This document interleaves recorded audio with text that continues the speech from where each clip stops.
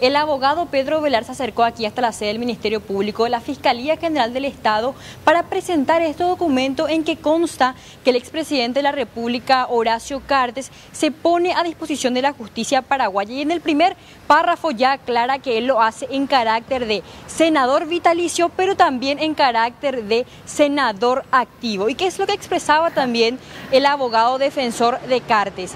Que él o según por lo menos las investigaciones que se realizaron en Brasil, todos los hechos supuestamente se habrían realizado aquí en nuestro país y por lo tanto él no debería ser investigado y mucho menos procesado por la justicia brasileña y en todo caso es la fiscalía de nuestro país quien tendría que abrir esta investigación. Escuchemos lo que refería al respecto el abogado Pedro Velar. Lo que se señala en, en, en la investigación en Brasil en, Brasil es que todos los hechos ocurrieron en Paraguay.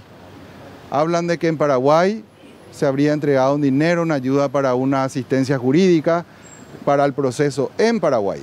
Entonces, ¿de qué manera un juez del Brasil o el Ministerio Público de Brasil tiene competencia en ello?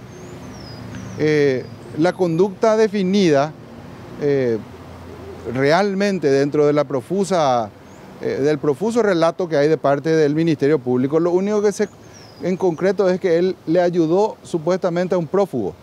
Eso no lo convierte en miembro de una asociación criminal, ni tampoco en el delito de lavado de dinero, ni en ningún otro tipo de, ilícito eh, transnacional. Lo que hace es mezclar dos procesos.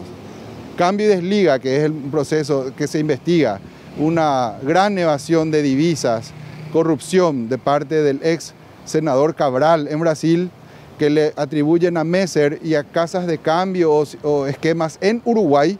Ese es el proceso por asociación criminal y lavado de dinero y corrupción.